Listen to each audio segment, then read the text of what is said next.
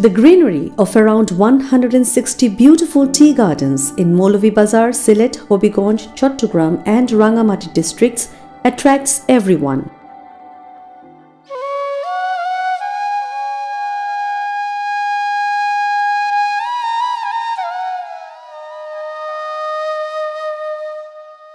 The women tea workers who pick tea leaf all day catch our eyes as well.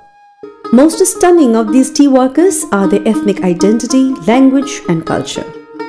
In its recent research, Society for Environment and Human Development has identified around 80 smaller ethnic communities in the tea gardens. All these ethnic communities of the tea gardens have their own world with diverse language and culture that must be protected alongside Bangla language and Bangali culture. Songs, dances, and music we see among other communities in the tea gardens have no end. Jhumur dance and stick dance are two essential elements in the cultural life of the Sadri speaking communities. Jhumur and stick dances please everyone in religious festivals, worships, and cultural functions. Songs and dramas are not only entertaining, they also portray distress, pains, and deprivation of the tea workers. Pratik Theatre, based in Deondi Tea Garden in Hobiganj district, is a pioneer in this regard.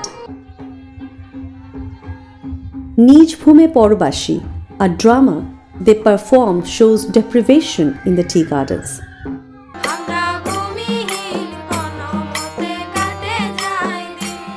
They also narrate the stories of landlessness and sufferings in their songs and dances. They excel also in patriotic songs and stage drama. Pratik theatre মূলত চা শ্রমিকদের নিয়ে গড়া একটি নাট্য সংগঠন আমরা নাটকের মাধ্যমে গানের মাধ্যমে চা শ্রমিকদের অধিকার বঞ্চিত চা শ্রমিকদের কথা আমরা তুলে ধরছি তাদেরকে সচেতন করার চেষ্টা করছি এবং তাদেরকে নাটকের মাধ্যমে তাদেরকে একটি গণজাগরণের যাতে তারা শিক্ষা বঞ্চিত, এই অধিকার বঞ্চিত দারিদ্র, নিপীড়িত যে চা জনগোষ্ঠী, যাতে তারা এগুলো দেখে যাতে তারা উৎসাহিত হয়, অনুপ্রাণিত হয়। তারা একটা গণজাগরণের একটা পথ তারা খুঁজে বের করতে পারে, তার লক্ষ্যেই কিন্তু আমাদের কার্যক্রম।